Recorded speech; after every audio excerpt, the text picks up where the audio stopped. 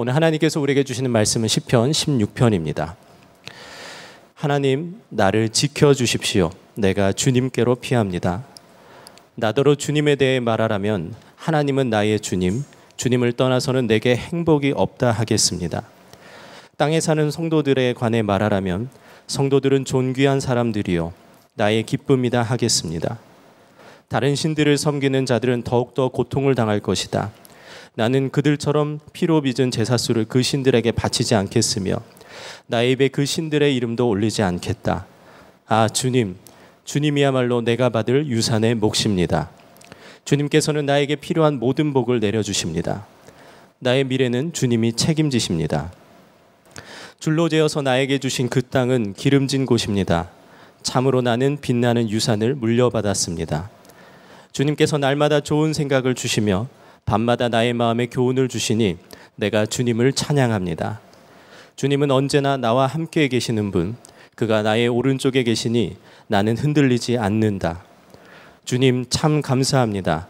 이 마음은 기쁨으로 가득 차고 이 몸도 아무 해를 두려워하지 않는 까닭은 주님께서 나를 보호하셔서 죽음의 세력이 나의 생명을 삼키지 못하게 하실 것이며 주님의 거룩한 자를 죽음의 세계에 버리지 않으실 것이기 때문입니다.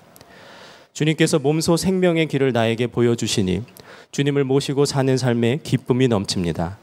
주님께서 내 오른쪽에 계시니 이 큰 즐거움이 영원토록 이어질 것입니다. 아멘. 하나님의 말씀입니다. 오늘 우리에게 귀한 말씀을 전해 주실 분은 지난 6월에 부임하셨고요. 요셉 3교구 사역을 담당하게 되신 정석진 목사님이십니다. 오늘 주님만이 나의 행복, 나의 기쁨입니다라는 제목으로 말씀 전해 주실 텐데요. 여러분 나오실 때 기대하고 또 환영하는 마음으로 큰 박수로 맞이해 주시기 바랍니다.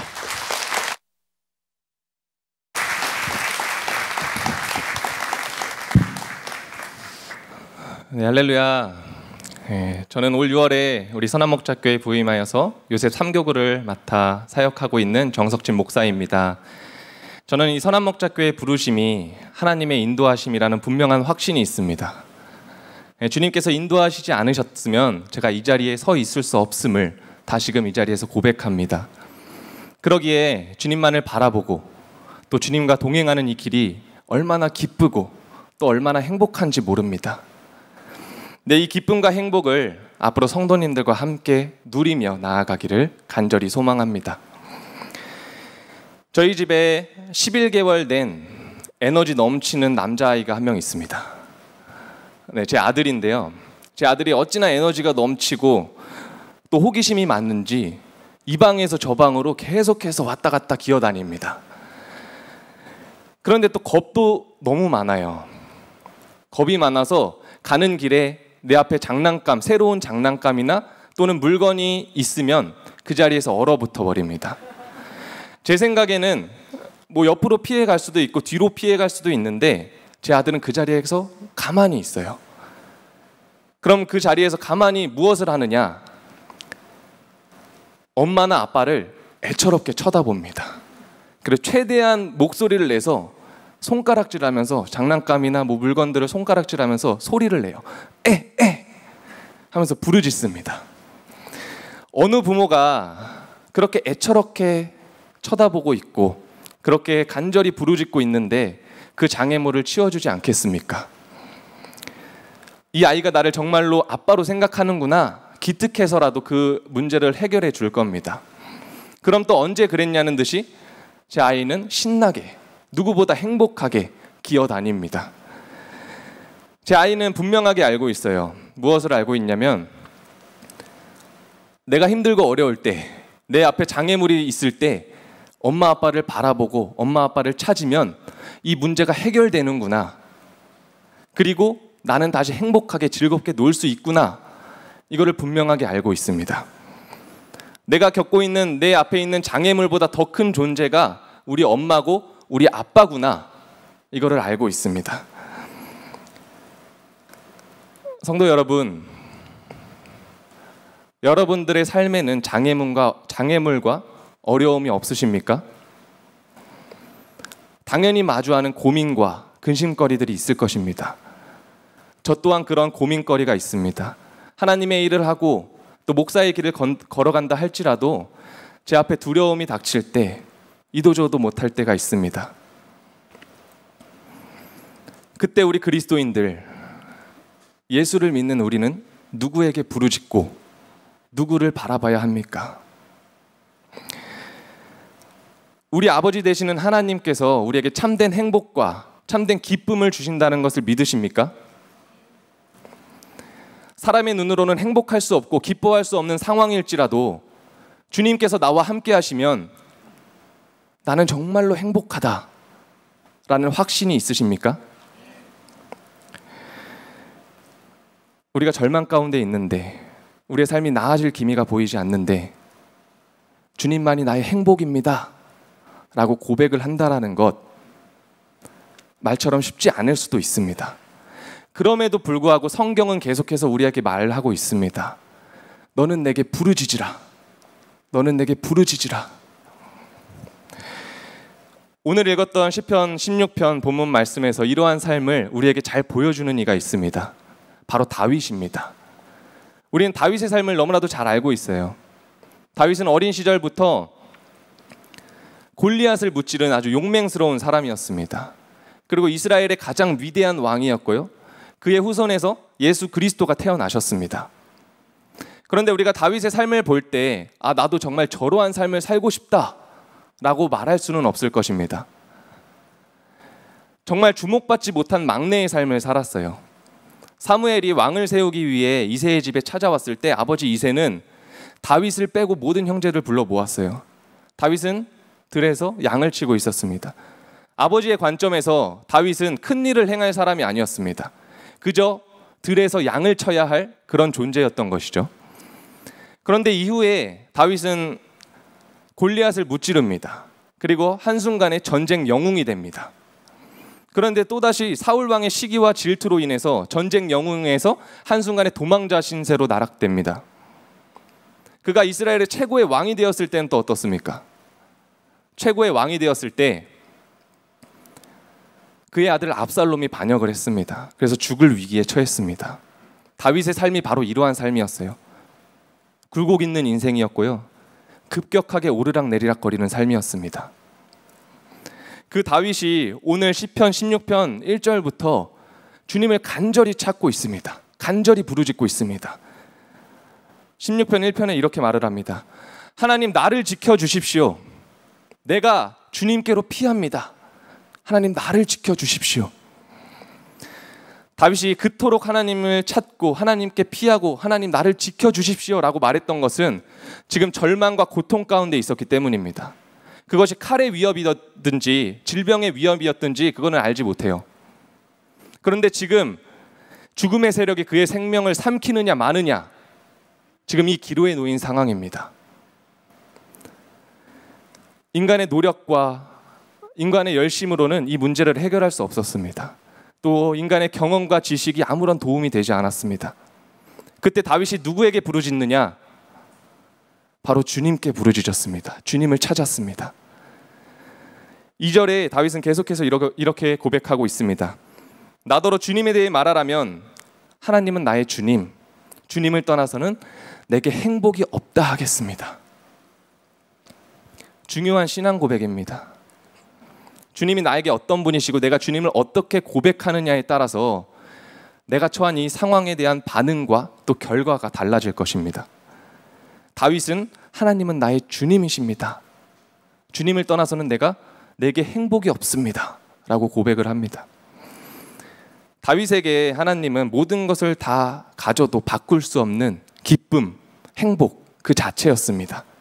흔히 세상에서 말하는 복, 잘 먹고 잘 살고 또 많은 것을 보고 많은 것을 누리는 것, 그 복을 구한 것이 아닙니다. 나의 욕망과 욕심을 채우기 위한 복이 아니었어요. 정말 견디기 힘든 문제에 있습니다.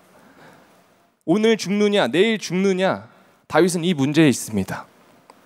그 죽음 앞에서 돈이 얼마나 많고 넓은 집이 있어도 또 내가 소, 내 소망이 이루어지는 것, 그 모든 것이 무슨 소용이 있겠습니까? 다윗의 고백에는 생명에 대한 간절함이 있어요. 풍랑 가운데 배가 뒤집힐 것 같고 경고했던 성벽이 무너져 내릴 것 같은 그 상황 속에서 세상에서 최고라고 말하는 것들 그런 것들이 다 무슨 소용이 있겠습니까? 다윗은 주님만이 나의 생명이라고 고백을 하고 있습니다.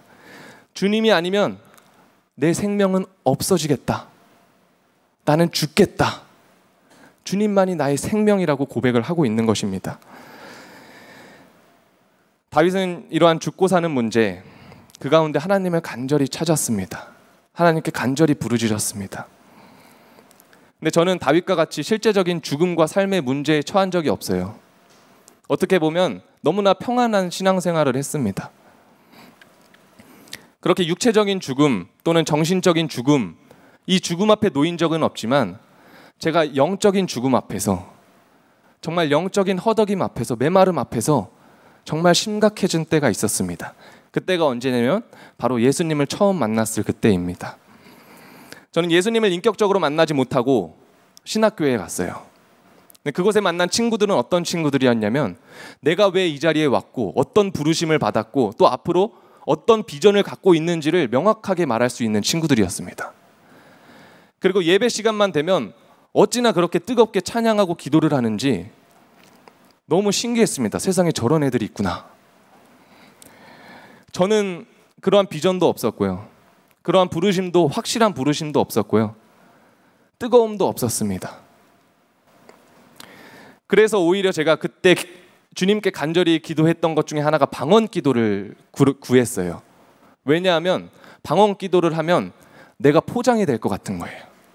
내가 뜨거워 보일 것 같은 겁니다. 그리고 내가 하나님을 예수님을 정말로 만난 것 같은 그런 모습을 보여줄 것 같은 겁니다. 그렇게 학교를 다니다가 집으로 돌아옵니다. 동네로 돌아옵니다. 그럼 동네에서 친구들이 기다리고 있어요. 제 친구들은 예수를 믿는 친구들이 없었어요. 정말 재밌게 잘 노는 친구들이었습니다. 학교를 가면 뜨거운 신앙을 가진 친구들이 있었고요. 동네로 오면 정말 재밌게 잘 노는 친구들이 있었습니다.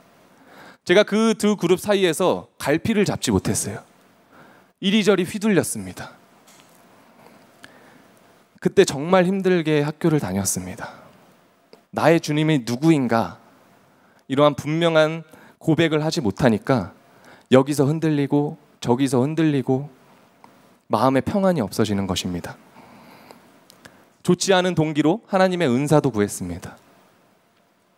그때 문득 이런 생각이 들었어요.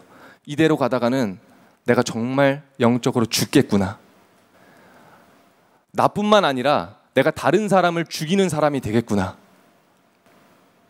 그리고 또 한 가지 생각이 든 건 내가 하나님께 나아갔을 때, 하나님을 찾았을 때, 하나님께서 나를 만나 주실 것 같고, 나의 모든 이 문제를 해결해 주시겠구나. 라는 생각이 들었습니다. 그래서 스무 살 여름밤에 정말 간절히 하나님을 찾았습니다.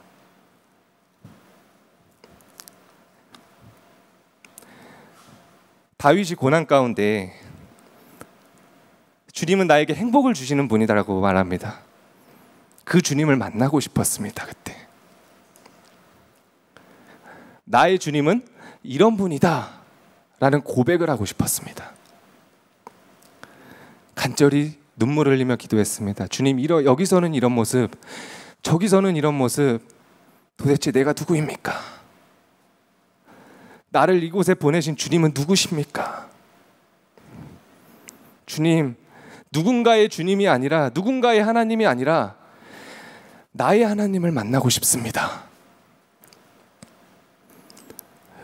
당시에 피할 길은 주님밖에 없었고 주님께 간절히 부르짖으니 주님께서는 내가 너와 함께한다. 내가 너를 보냈고 내가 너의 길을 인도할 것이다. 라는 분명한 확신을 주셨고 약속을 주셨습니다. 그리고 그 약속의 증표로 저에게 방언을 주셨습니다. 그 전까지는 제가 제 마음을 숨긴 채 하나님께 기도했어요. 방언 기도를 달라고.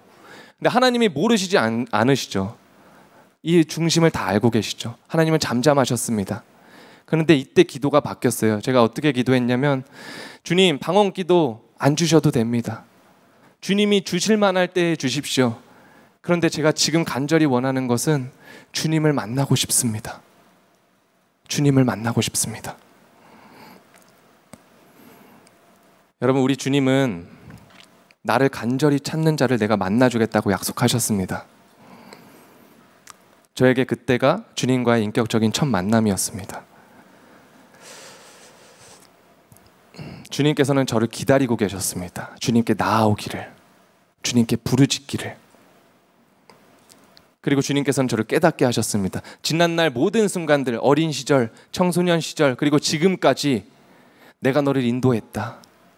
내가 너와 함께 했다. 주님의 사랑과 그 관심이 없으면 내가 또 지금 이 자리에 있을 수 없었다라는 것을 깨달아 알게 하셨습니다. 그때부터 저는 저의 주님을 나의 주님을 말할 수 있게 되었어요. 고백할 수 있게 되었습니다. 나의 주님은 나를 끝까지 포기하지 않으시고 나를 사랑하시는 분입니다. 그리고 나에게 참 기쁨과 나에게 참 평안을 주시려고 기다리시는 분이십니다. 그렇게 주님을 만났습니다. 주님을 만난 이후에 제 삶에 모든 장애물과 문제가 사라졌을까요? 주님을 만난 이후로 더 이상 근심거리가 제 삶에 없었을까요? 제가 20년도 11월에 결혼을 했습니다. 20년도 11월에 결혼을 했습니다. 결혼을 하면 가장 중요한 게 무엇일까요? 집이죠. 살 집이 있어야겠죠. 그래서 그 집을 위해서 무더운 여름날 부동산을 막 돌아다녔어요. 20년이 어떤 해였는지 아십니까? 20년도는 코로나가 터졌습니다. 그리고 전세 대란이 있었습니다. 뉴스를 봐도 뉴스를 틀어도 계속해서 집값이 오르고 있다라는 얘기예요. 그리고 아파트뿐만 아니라 빌라까지도 매물로 나오지 않고 전세로 나오지 않는 상황이었습니다. 그리고 당시 제가 전도사였는데 전도사가 돈이 어디 있어요? 은행에 대출을 받아야 되는데 은행 곳곳을 돌아다녀도 대출을 대출금이 조금밖에 나오지 않는다는 거예요. 집을 구하기에 택도 없이 부족한 금액이 나온다는 겁니다. 당장 11월에 결혼을 하고 함께 살 집이 있어야 되는데 집도 나오지 않고 또 전세도 대출금도 나오지 않는 이 상황. 제 아내가 얼마나 또 불안했겠습니까? 또 아내를 달래준다고 안심시킨다고 이렇게 막 얘기를 하는데 제 마음이 정말 요동쳤습니다. 그 웅덩이 속에 들어가서 허우적거리는 절대 빠져나올 수 없는 그런 심정이었습니다. 계속해서 부모님과 이 집 문제로 소통을 했어요. 근데 아버지께서 제가 부모님이시니까 제가 불안해하고 걱정해 하는 것을 다 느끼셨던 것 느끼셨던 것 같아요. 아버지가 저에게 한마디 하시더라고요. 너 예수 믿는 사람 아니냐? 너 믿음 있는 사람 아니냐? 기도해라. 그 아버지의 말이 제 마음과 제 생각에 막 울리기 시작했습니다. 그리고 그 음성이 하나님의 음성으로 들렸어요. 제가 왜 기도를 안, 했겠, 안 했겠습니까? 당연히 기도하면서 집을 알아보고 집을 구하러 다녔겠죠. 그런데 부딪힌 현실 앞에서 점점점 하나님을 의지하지 않는 저를 발견했습니다. 하나님을 의지하지 않고 계속해서 불안해하고 상황만 보고 현실만 보면서 좌절하고 있는 저를 발견했습니다. 그리고 다시 그것을 깨닫고 하나님께 부르짖었어요. 그때 역시나 주님께서는 저를 만나 주셨고 품어 주셨습니다. 그리고 저에게 새로운 마음을 부어 주셨어요. 그 새로운 마음이란 무엇이냐? 우리 부부, 부부 눈에 보이는 모든 것이 100% 만족이었습니다. 뭐 좋고 넓은 집을 구했다는 게 아닙니다. 어디든 우리 주님과 함께함이 가장 큰 행복이다. 하나님이 우리를 어디로 인도하시든지 그것이 가장 선한 길이다. 우리가 생각하지 않고 우리가 바라지 않던 곳이라 할지라도 주님이 우리와 함께하면 그것이 가장 좋은 길이다. 그리고 나의 주님을 다시 고백했습니다. 나의 주님은 나를 포기하지 않으시고 끝까지 사랑하시고 나에게 참 행복과 또 평안을 주시려 기다리시는 분이십니다. 다윗의 삶만 봐, 삶만 봐도 어린 시절부터 양을 치면서 계속해서 주님과 동행했던 삶입니다. 그런데 크고 작은 문제들이 그의 삶을 계속 삼키려 했어요. 그런데 다윗은 두려워하지 않았습니다. 흔들리지 않았습니다. 왜냐하면 나의 주님이 어떤 분이신지를 알았고요. 그 주님이 나와 함께 하심을 믿었기 때문입니다. 두려움과 근심이 찾아올 때 순간은 움츠려들 수 있습니다. 그러나 그 웅덩이에서 허우적거리진 않았습니다. 주님께 부르짖으면 사망의 음침한 골짜기에서라도 또 그 깊은 수렁에서라도 나를 끌어내 주실 분이다. 나를 끌어내 주실 것이다. 라는 분명한 믿음이 있었던 것입니다. 다윗은 8절에 이렇게 고백하고 있습니다. 주님은 언제나 나와 함께 계시는 분, 그가 나의 오른쪽에 계시니 나는 흔들리지 않는다. 이 고백을 반대로 말하자면 주님이 주님과 함께하지 않는다면 내가 주님 곁에 있지 않는다면 나는 반드시 흔들리게 될 거라는 겁니다. 어느 날 예수님과 제자들이 배를 타고 호수 건너편으로 건너갔어요. 근데 가는 도중에 풍랑을 만나게 됩니다. 풍랑을 만나서 배에 물이 들어오고 곧 있으면 침몰될 것 같은 그런 상황에 상황이 펼쳐졌습니다. 그때 예수님은 무엇을 하셨느냐? 주무시고 계셨어요. 제자들은 예수님과 함께 있으면서도 그렇게 두려워했습니다. 벌벌 떨면서 아 이제 죽겠구나 자포자기했습니다. 그러나 예수님께서는 바람과 바다를 꾸짖으시고 풍랑을 잔잔케 하셨습니다. 그리고 함께 했던 제자들에게 이렇게 말을 합니다. 너희의 믿음이 어디에 있느냐? 너희의 믿음이 어디에 있느냐? 오늘 저와 여러분들에게 동일하게 말씀하고 계십니다. 너희 너희의 믿음이 어디에 있느냐? 너희는 누구에게 부르짖고 있느냐? 여러분들이 자녀가 있는데 그 자녀가 매일같이 부모가 있는데도 매일같이 한숨 쉬고 걱정하고 근심하고 두려워하는 것 그것이 보기 좋으십니까? 아니면 부모가 있으니까 평안해하고 기뻐하고 든든해하는 것을 보기 좋아하심 좋으십니까? 우리 아버지 되시는 하나님께서 우리를 바라보실 때 기뻐하시는 것이 무엇일지를 한번 깊이 생각해 보시기를 바랍니다. 소망하기는 절대 우리의 삶에 고난과 두려움 속에서 그치지 않기를 바랍니다.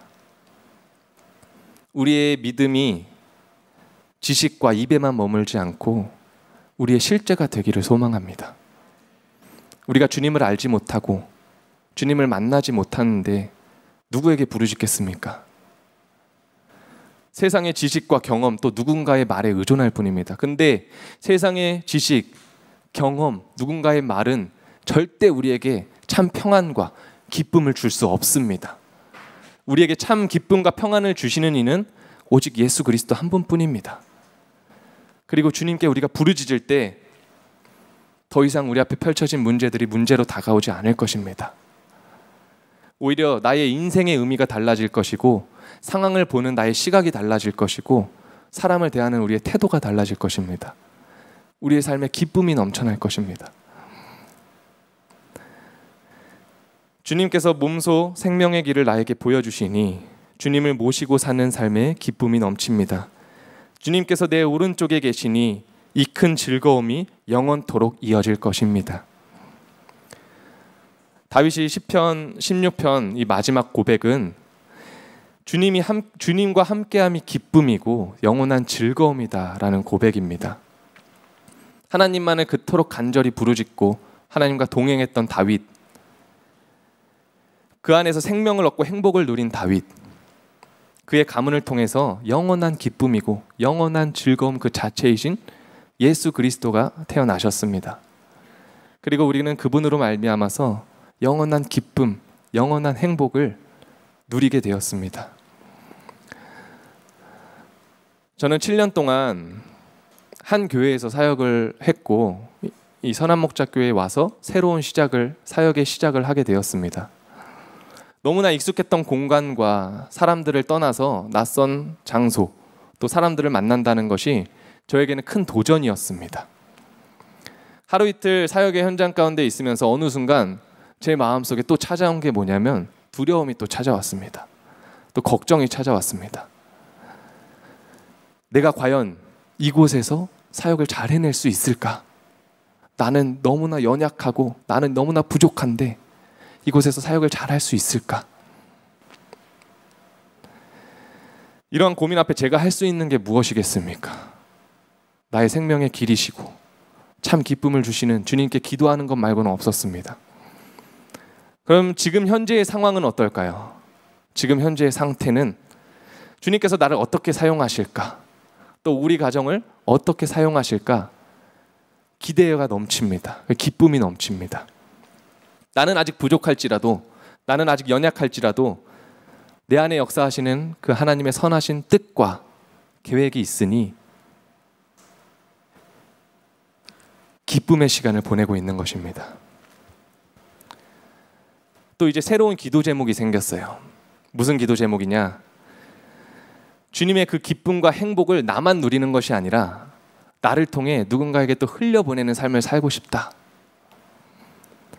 누군가에게 사랑과 위로가 전해지고 나를 통해 누군가가 예수를 알고 예수를 믿고 그 기쁨과 즐거움을 누리게 되기를 기도하고 있습니다. 이 기도의 제목이 여러분의 기도의 제목이 되기를 바랍니다. 우리 마지막으로 함께 다윗의 고백을 읽고 함께 읽고 찬양하고 또 기도하기를 원합니다. 네, 시편 16편 2절과 또 11절의 말씀 이어서 함께 읽도록 하겠습니다. 나더러 주님에 대해 말하라면 하나님은 나의 주님, 주님을 떠나서는 내게 행복이 없다 하겠습니다. 주님께서 몸소 생명의 길을 나에게 보여주시니 주님을 모시고 사는 삶에 기쁨이 넘칩니다. 주님께서 내 오른쪽에 계시니 이 큰 즐거움이 영원토록 이어질 것입니다. 아멘. 이 고백이 저와 여러분의 평생의 고백이 되기를 축복합니다. 우리 함께 찬양하고 기도하겠습니다. 우리 손을 높이 들고 주님을 찬양하기를 원합니다. 내 손을 주께 높이 듭니다. 내 찬양 받으실 주님 내 마음을 주께 활짝 엽니다. 내 마음을 주께 활짝 엽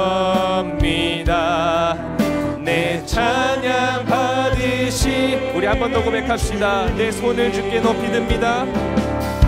내 손을 주께 높이 듭니다. 내 찬양 받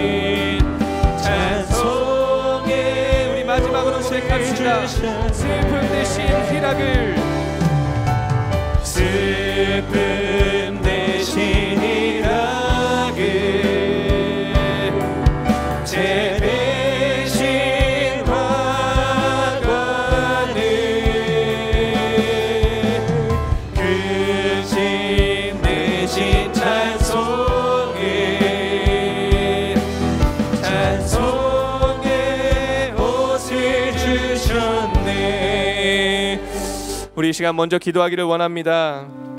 우리의 기도 제목이 내가 바라는 무언가 이루어지는 것이 아니라 오직 주님을 만나는 것이 되기를 소망합니다.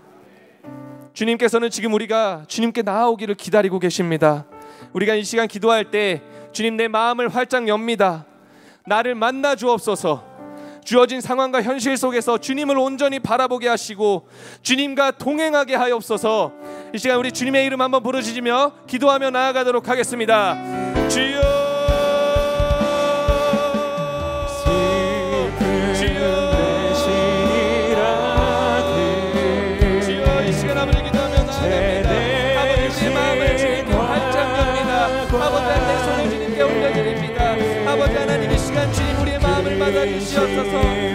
간절히 찾으며 나아가오니 간절히 주님께 부르짖으며 나아가오니 주여 이 시간 우리 가운데 찾아와 주시옵소서. 우리 가운데 임재하여 주시옵소서. 아버지 하나님 우리가 우리의 아버지 소원을 바라고 우리의 욕심을 구하는 것이 아니라 오직 주님을 만나는 것을 소망하기를 원합니다. 오직 주님을 만나는 것이 나의 기도의 제목이 되기를 원합니다. 주여 나를 기다리시는 밖에 서서 문을 두드리시는 주님 아버지 우리의 마음을 활짝 열게 하여 주옵소서. 오직 주님 바라보게 하여 주옵소서. 오직 주님만을 아버지 하나님 모셔드리는 아버지 하나님 귀한 시간 되게 하여 주옵소서. 주여. 이 시간 아버지 믿음을 위하여 아버지 하나님 이 시간 기도하며 나아가오니 아버지 하나님 역사하여 주옵소서. 아버지 하나님 역사하여 주옵소서. 아버지 우리의 건- 걱정과 근심 두려움이 사라지게 하시고 주님이 주시는 참된 참된 기쁨을 누리며 살아가게 하여 주시옵소서 주여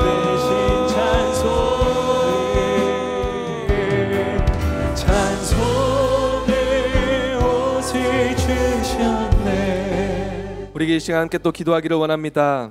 간절한 마음으로 기도하고 또 개인 기도로 나아가겠습니다. 이 시간 기도할 때 생명의 길이신 예수 그리스도를 온전히 전하는 삶을 살도록 나를 사용하여 주옵소서. 나를 통해 주님의 기쁨과 즐거움, 평안과 위로가 흘러가게 하옵소서. 많은 이들이 나를 통해 주님께 돌아오게 되는 도구로 나를 사용하여 주옵소서. 이 시간 주님의 이름 한번 부르며 기도하며 나아가겠습니다. 주여 대신이 아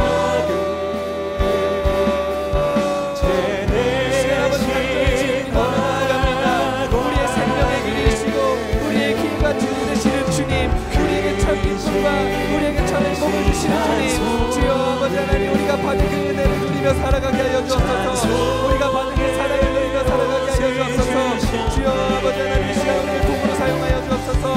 아버지 하나님 이 시간 주님 우리를 붙들어 주시고 아버지 온전히 주님을 전하는 삶 살게 하여 주옵소서. 아버지 우리를 사용하여 주옵소서